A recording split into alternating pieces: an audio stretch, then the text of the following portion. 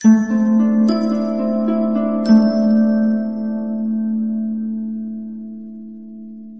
maan lijkt tussen Saturnus ringen te zweven, maar laat je niet gek maken.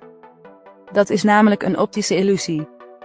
Cassini maakte de foto vorig jaar, maar NASA heeft het kiekje nu pas vrijgegeven.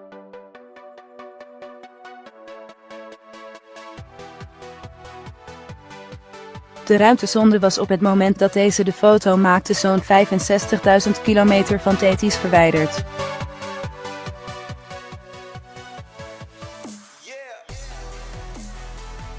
Ringen op de foto lijkt Tethys tussen de ringen van Saturnus te zweven. Maar schijn bedriegt. Boven Tethys zie je inderdaad de ringen van de gasreus.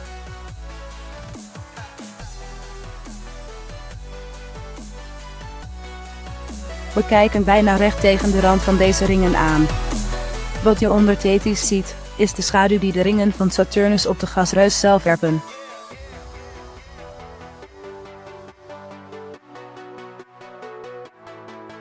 Afbeelding, NASA slash JPL Caltech slash Space Science Institute. Tethys Tethys heeft een diameter van 1062 kilometer.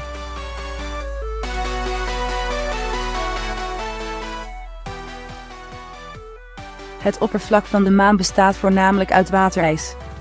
Er is een goede reden om de foto's van Cassini te koesteren.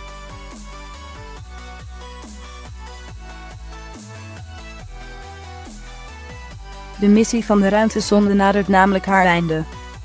Binnenkort begint de zonde aan haar grande finale. Tijdens deze fase van de missie zal Cassini meerdere malen in de ruimte tussen Saturnus en zijn ringen duiken.